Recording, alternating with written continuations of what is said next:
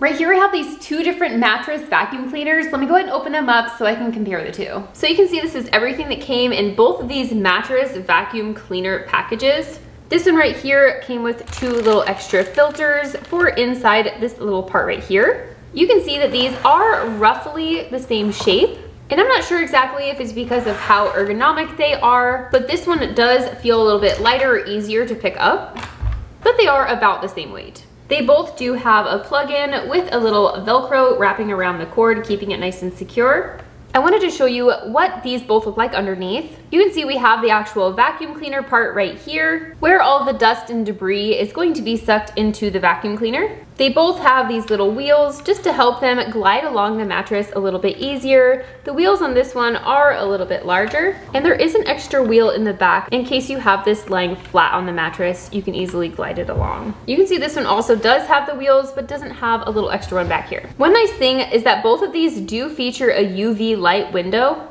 You can see on this one, the UV light window is right here, and on this one, it's right over here. This is actually dual tech, giving you double illumination over here. This one has ultrasonic waves as well as LED UV light. So it can just help even more get rid of those allergens and dust. Once you're done running this along your mattress and vacuum off everything from dust, dust mites, dander, pet hair, things like that, you can definitely take these little canisters here and dump them over the garbage so you don't have to worry about any of that stuff just staying in these containers. For this one right here, you're just gonna push this button on the side. You can take this canister right out, remove the lid, and dump this in the garbage. And for this one over here, you're just gonna push this red button, and this easily comes off. Then you can push this button right here just to access the filter and remove this top section, which is gonna be really useful, especially for fully cleaning this out. Or you can just open the bottom part of this canister and easily dump that over the garbage can. You can see in order to operate both of these, they do have the little interface on the front so that you can see it easily while you're using it.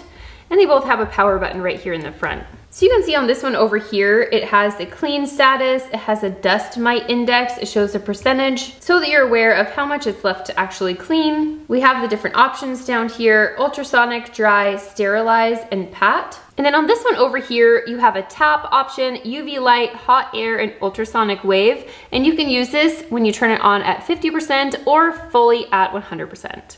This does have a hot air drying feature that has the temperature of the air up to 149 degrees Fahrenheit, which is just gonna help to dehumidify and inhibit the growth of allergens.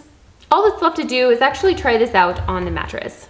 I do want to mention that if you open this section right here, you can actually take off this top part where you would access the filters. And there is this little section right here where you can put a little aromatherapy tablet. I do really like that as an option. As far as removing the roller brush, all you need to do is make sure that your power is off and you just pull out this little tab right here.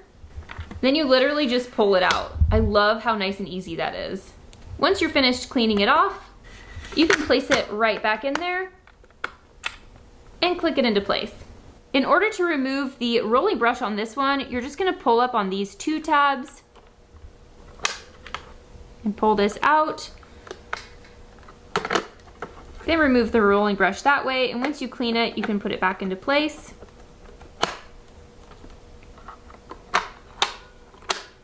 When this indicator bar becomes red, the suction will automatically be enhanced and it will change back to this blue color when it's restored to its regular suction. This UV light will automatically turn off when the machine leaves the bed, which is a nice safety feature.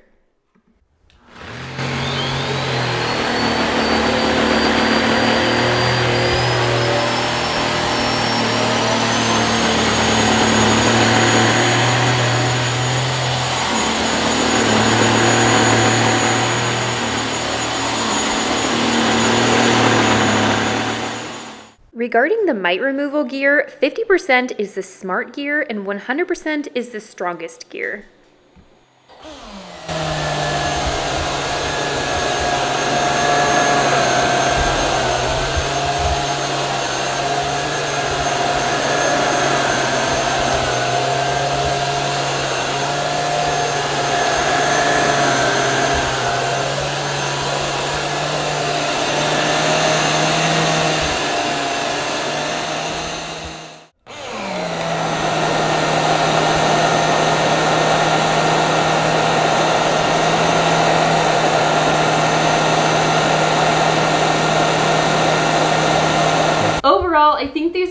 Very comparable. I will say this one was a little bit easier to push along the mattress because of those extra set of wheels back here. And I did like that I had the option of using it at 50% or 100%.